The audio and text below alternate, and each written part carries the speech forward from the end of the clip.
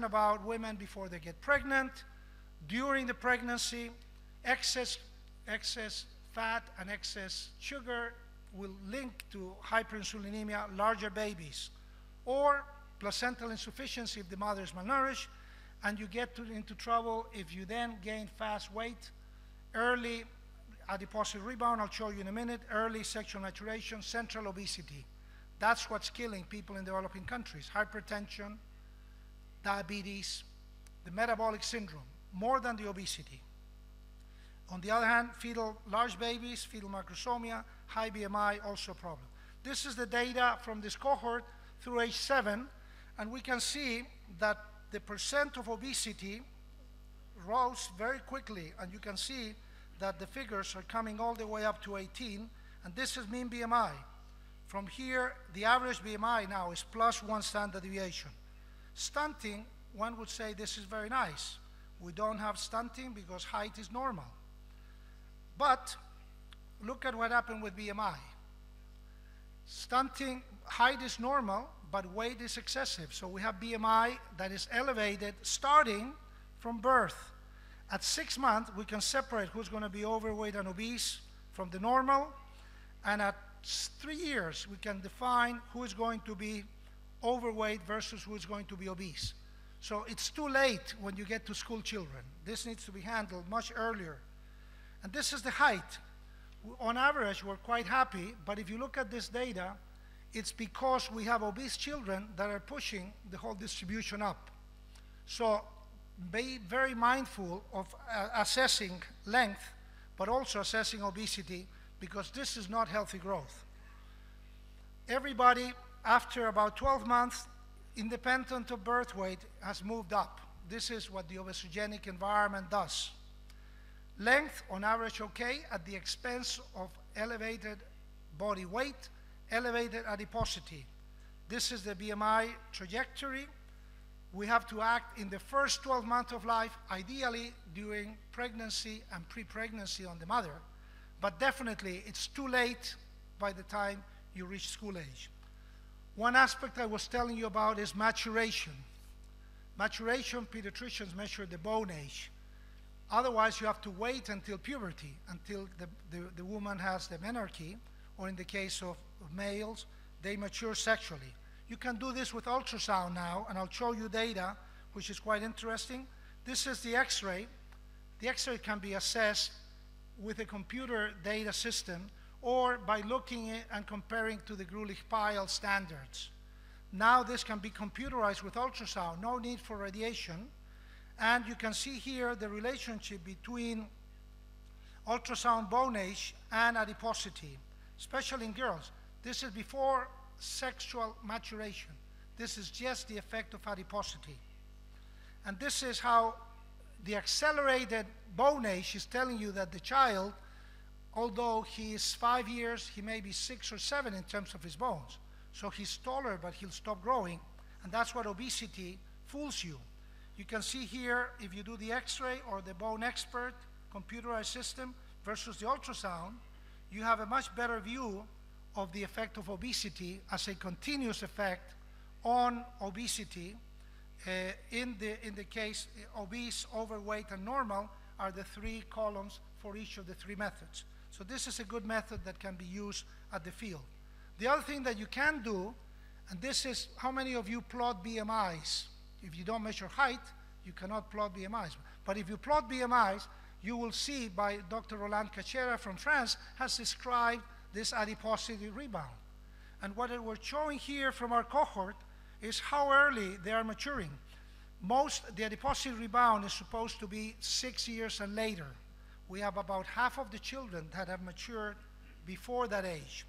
And the ones that have matured earlier, you can see the, the, the curves, the ones that are of normal of normal BMI, the green, in fact, hasn't yet, about half of them only have uh, done the adiposity rebound. But the ones that actually did the rebound by age two, the majority of them are obese.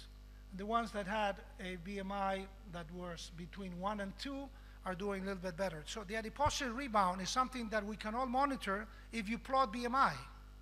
If you don't plot BMI, you don't, you're not able to see this rebound. So this is something that we should be following at a population.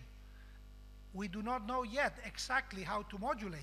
But just like with menarche that used to be at 17 years and is now at 12, this is potentially movable if you have less adiposity. This is the adiposity of this child of these children by the adiposity rebound. The ones under three, 69% have excess adiposity based on the uh, bioelectrical impedance assessment of fat mass. There are better methods, and we'll hear about those in a few minutes. So you can see that depending on the age of adiposity rebound, you will have less adiposity. Less adiposity also means slowing down this, uh, this maturation, the early menarche, girls getting pregnant at age 12 in schools, and all of that that's going on at the present time. The metabolic status, if we look at glucose, if we look at insulin, triglyceride level, waist circumference, and HDL, and build a Z-score of the five, we find that it's directly related to the adiposity rebound and to the adiposity. So if you have the adiposity under 3, 64% are in the top quartile of abnormal metabolic score. If, on the other hand, you get your adiposity rebound after 7, only 16% have it. So we are actually can be acting in preventing the metabolic consequence of adiposity early on. Skeletal maturation, which is what I was telling you, again, very much linked to adiposity. This could be cause or effect. Thelarche, by age seven, girls already have breasts. Stage two Tanner, not beyond that. And again, very much linked to the adiposity rebound and to the adiposity. Why is this important? The only thing a woman can do to prevent breast cancer is to have a late menarche, to have an early pregnancy, and to breastfeed. One of the factors then is maturation to prevent breast cancer. There's nothing else you can do to prevent breast cancer. So, and also not be obese. But this is why this is important. The whole genome is, uh, gene is being patterned. Epigenetic changes are linked to the, to the period of puberty. And precisely that is the time when you have, you're setting up yourself for the risk of breast cancer. These are a whole lot of effects of nutrients on epigenetics. So we're not only our genes, but diet has a direct effect on the genes in the expression pattern that will affect life course risks. What is healthy growth? Growth standards reflect nutrition and feeding practices. We need long-term data.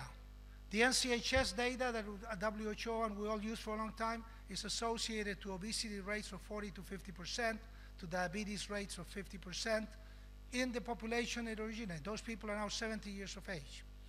And they've had a large burden of disease. So growth needs to be examined over long term. This is women around the world.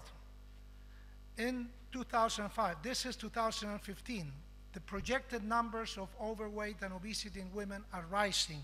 Linked to that is the rise in diabetes rate. We're already seeing it in Mexico, in India, in South Asia, in the Middle East too. The, the, the budget of, this, of some of the Gulf countries that goes to insulin, the health budget, about 15% of the whole health budget is to buy insulin. Obesity in women in the Middle East, especially in the Gulf countries, is over 50%. And there's something that needs to be done to rescue those women from whatever is going on that defines those very high rates of obesity the highest in the world. So going back to my original, we not only need people to survive, we need to bring down disability from myocardial infarct, from stroke, from cancer. High obesity needs to be pushed back. The task is not only survival, but healthy survival. It starts with healthy growth. Timing for that, preconceptional, during gestation. By the time, this is why the thousand days very early, critical nutrients, diabetes needs to be under control. Otherwise, you're losing it. At every stage of the life course, fetal life, infancy, adolescence, adult life. So this is the new paradigm for nutrition. Nutrition throughout the life course. Every nutrient matters. Healthy diets, food-based.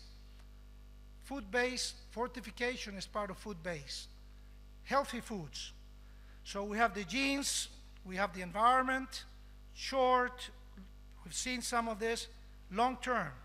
But if we're going to talk to the politicians, we need to put school failure, poor education, lower income, infections, stunting, lower income, diabetes, obesity, cancer, stroke, coronary heart disease, aging related functional loss, and put a cost to that. Very briefly, this is my last set of slides. This is Latin America. We have the Economic Commission for Latin America, and you can actually go, it's in English. They actually have measured the cost of hunger only on the undernutrition side. And they've actually looked at what we've been discussing. Undernutrition has effects on productivity, effects on mortality. We are concerned with mortality, with morbidity, with mental development. But the key player here is in red, productivity. I'll show you data on that in a minute. So it's not only an ethical, it is also social and economic issue. It's not that we want to do good. If we are going to develop as nations, we need to have healthy growth in the children. We need to uh, have economic impact so that we can talk versus building a bridge. What is more important, feeding children or building a bridge? We have to be able to give the answer to that. And you can do it two ways. This is looking at the cost you're paying now because of children who are undernourished, because of the educational cost, and because of the adults that have lost productivity. But also, you can say, what's going to happen in the next 50 years with what we're losing today? That is the perspective. So the economists that worked with us on this did it both ways. So this is the incidental cost in health, in education, and in productivity. But now let's look at it over the life course. Let's look at it over 60 years. And we have a much better argument because what we fail to do now is going to have a long-term effect. If we look at it from the standpoint of the countries of Latin America that were affected and were studied, this is 17 billion. 17 billion is being lost because of this issue.